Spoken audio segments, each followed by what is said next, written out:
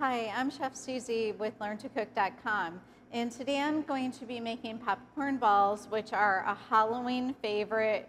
We're going to be putting our ingredients in the saucepan, gently warming it on the stove to melt everything together, and then we're just going to be tossing the popcorn in, and then it's ready to be formed into balls. Very easy. So knowing that, we're going to be putting our powdered sugar, our mini marshmallows, our butter, our corn syrup,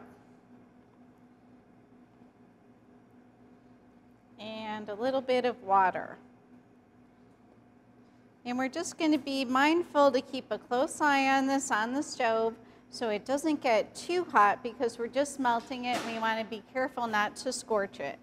I'm using a skillet so I have a wider surface to work with and it's going to be a little bit easier for me to keep an eye on this, especially on the bottom of the pan. So I have a medium flame and I'm just carefully stirring to make sure none of the ingredients are scorching as we go along. Okay, now all of the ingredients are melted. They're well incorporated. We're going to take the whole skillet over to the table to finish this off. We're going to be adding our popcorn that we made earlier. It's just plain popcorn that we popped on the stove. And we're just going to carefully mix this in. Now that the mix has had a chance to cool off just a little bit, I'm going to go ahead and form the popcorn balls. I have a little bit of pan spray that I'm going to go ahead and put on my hands. This, this is going to help so this mixture doesn't stick to my hands while I'm rolling.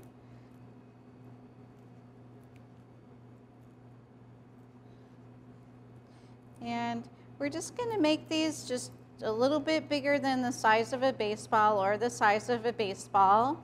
And you don't want to press them together too firmly. So you want it to be a little bit loose so you can go ahead and bite into it. You don't want it to be really dense. So you're really just kind of forming the circle. So once your popcorn balls have cooled off, you can wrap them up in plastic or just so serve them in a bowl or a dish for your family and friends. And these I'm just gonna kind of stack up in a deep bowl. And they're a little sticky so you can get them to stack up nicely. And thanks for joining me today at learntocook.com and we'll see you next time. Goodbye. Well, thanks for joining us today at learntocook.com. Be sure to comment and to subscribe. Also visit us on Facebook and Twitter. Have a great day and thank you.